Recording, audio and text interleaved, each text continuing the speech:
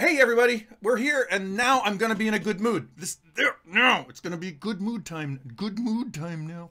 We made a new game and it's in early development and I want to um I want to tell you all about this cool game that we, we we haven't made, we are making. And I wanted to do something different with this game because we had such a great experience with early access on Legends of Callasia and we had so many great responses and I wanted to get everyone involved in this game a lot earlier. So I said, let's let's show them the game now. Let's show them what it looks like when it's young and ugly and new. And so be cool.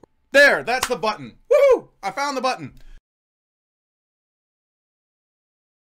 Why are we making a game? What what is the point of this? So I the reason we decided to make a new game is we got a lot of really great comments about Callasia. For those of you who don't know, for I think most of you who are in the stream right now know, we made a game called Legends of Callasia. And the idea behind Legends of Callasia was that we wanted to make a turn-based game and we wanted to make it so that you could play it in a reasonable amount of time. It didn't take you like forever to play it. We wanted it to be multiplayer. We wanted to play it on tablets. And all of that came out great um, when we built that, we got done building it and we showed it to the world, and the world loved it. And they said, This is really great. I can play a turn based game. I can play with my friends. I can play a game in an hour and a half. There was lots to love about Legends of Callasia. And I still love Legends of Callasia. It's still uh, probably, honestly, out of all of the games I've made in my life, it's probably my favorite game I've ever made. So, I mean, that's, and that's, I made a lot of games. I made like 50 games. So, out of 50 games, that's, that's the one I like the best. And it's, you know, the other ones were all cool and shit, but that was the one that's closest to like what I want to play um, in my own taste of games and things. And so when I uh,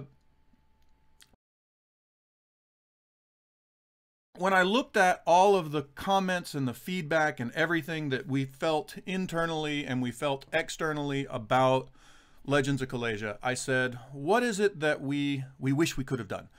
And you know, a lot of times when you're making a game, you get these comments that are like, you ought to have a map editor and you're like, well, the entire game is structured in a way that a map editor just, I mean, it's like 15 layers of Photoshop and, and an Excel file and all.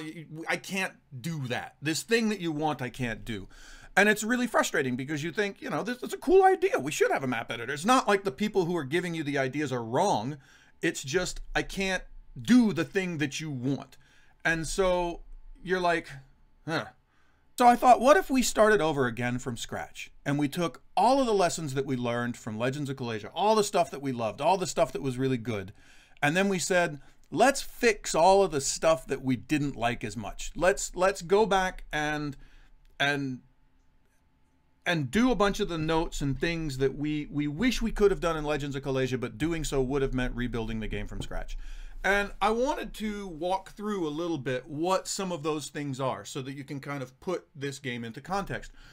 Thing two, um, people said we loved Legends of Callasia, but we didn't understand it when we played it. Like there, there was a learning curve when you got into the game where you were trying to figure out how do these armies work? How does the combat system work? And in truth, the, the, the combat system was a little bit it was a little bit kind of hard to get your head around. Here's Legends of Callasia, um, and it's a great game. So, like, um, let's do a quick skirmish match, and I'll, I'll kind of show you what I'm talking about here. Let's just play. We'll do a quick play so we get right into it.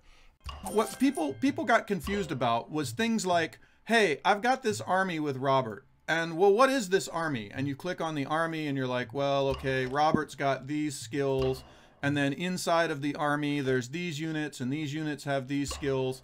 And people were a little confused about what does, you know, when I have a ballista that does 4220, what does 4220 mean? Well, this 42 is the maximum damage that it could do, so it's actually going to do between 1 and 42 points on a bell curve, and 20 is the number of points of damage that it can take, but there was the question of, well, all right, when I attack this army, um, you know, I, I, know that he's got 10 of these uh, men-at-arms, but he's also got uh, two of these ballista, which one takes damage first, and blah blah blah.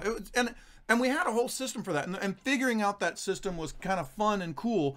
But it was also something that people got uh, to be to be blunt. It's something that people got kind of confused about, and it was a barrier when they started the game that they were like, "All right, I don't really know how all this works." And we had a lot of wonderful people in the community that would be like, "Oh, let me teach you how to play. Let me show you how this is all played." And I, I thought, wouldn't it be better if we didn't have to do that? wouldn't it be better if people would just get in the game and they would look at the units and they would just inherently know this is this is how they work. And and and to have more of the game be on the main screen. So if I if I go back to Legends of Callasia, you know, I've got this sort of main map and I all right, I want to move this guy here and have him go do stuff. And then when he goes and attacks, there's like a, a separate battle screen. So let's let's play a battle real quick. So I'm gonna go fight these guys over in this this this village. And when he goes and fights these guys over in this village, we get this this moment where we say, "Oh, okay, here now my ballista fires, and now you know, okay, and that does this damage." And there, there's this whole sort of game inside of a game, and it's fun. I like it. It's cool, but it's also something that you have to learn, and it's it's got kind of a steep learning curve for. And so I said, from the very beginning of Last Regiment how can we make that learning curve easier? How can we get people so they just hop in and they just know how battle works and they know how things happen? So that was thing two, was how do we make the combat system so that people inherently get the combat system? The third thing, and this was really funny for me, um, when we originally made Legends of Callasia, I'll be brutally honest, I didn't think real hard about the story. I, that's just a fact. I, I thought, come on, this is like an advanced version of Risk. People want to move their little armies around, they want to fight. They don't they don't deeply care about the story. So we didn't we didn't spend a huge amount of time thinking about some really involved plot or deep characters or anything like that because because I genuinely and, and it's not that I don't care. I, I love that kind of stuff. I, I, I used to be a dungeon master. I love making games and, and coming up with all that stuff. I just thought nobody would care. So I thought, I'm not going to bother with that and so we didn't. And so we went with a really classic look. We went with really classic characters you know and and people are like well what is that guy? I'm like he's a dwarf. You know you know dwarves. They speak with scottish accents. They smoke pipes. You know what a dwarf is. Play the game dude. And i just assumed that was the way things worked right? But when we actually launched the game we had all these people who were like tell me about your lore. Where can i find out more about these places and these and i and i was i was i was kind of shocked a little bit and was like, wow, you guys want that. I, I didn't, I would love to make this for you, but we didn't. And now I, you know, and we tried we, as we went along with Callasia and we continue to try to sort of add story and add stuff to the game, but it was never really a focus of the game. Um, I thought on the next game, why don't we do that? Why don't we have characters that you care about? Why don't we have an interesting story? Why don't we go a little bit away from the the sort of obvious fantasy tropes. Let's do some stuff that's a little bit more original. Let's do some, let's create a real world. Let's do that thing. And so, sort of the third big change with Last Regiment is let's actually have a meaningful story and characters that go through this story and and and do that thing. So that was sort of thing three that we wanted to change and we wanted to do in this game. Thing four, um, we actually one of the problems with Legends of Callasia, and I'll, I'll, go back to Legends of Callasia for a minute. And again, I, am not ripping on Legends of Callasia. I love this game. It's a wonderful game. But one of the sort of weaknesses we found out as we continued making the game um, was the way that we had structured the factions. And the way that we structured the factions in Legends of Kalesia um, is there were like, you know, the humans, and then there were the, the, the Faeborn, and there were the Revenant and if you played the humans, for instance, and you said, well, what units can I use as uh, as a uh, somewhere in here is these are oh, wait I want that button. So when you played as the humans, you had like these are the six units you can use as a human, and if you played as a revenant, it was like these are the six units you can use as a revenant, and it was a little bit limiting in the sense that you know I may really like the abilities that this Dark Knight has, but I can never use these Dark Knight abilities with, for instance, uh, the Man at Arms, because the Man at Arms was a human unit, and the the the you get where I'm going, right? And I thought, you know, it's really kind of sad because there's probably a lot of interesting synchronicities that people could have found with these, not synchronicities. There's a word that people use in Hearthstone.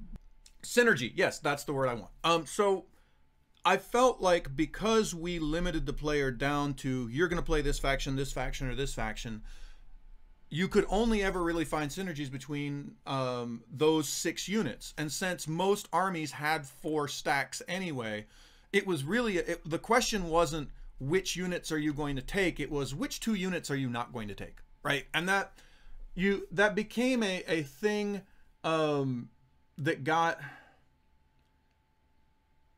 I guess solved is the best word. And and and I think, you know, some of the people who are in the stream like Merlin, I, I think one of the things that, that that made the game have a shorter lifespan than it needed to have was that some people got in and they felt, you know, hey, I've, I've solved this. I figured out that the best way to play the humans is to have this unit and this unit, and this is how you play it. And once you, you know, and the problem with a game like this, a strategy game, is if you feel you've solved a strategy game, then it's over for you. And you're like, okay, I've, I've had a great time. It's a wonderful game, but I'm done now.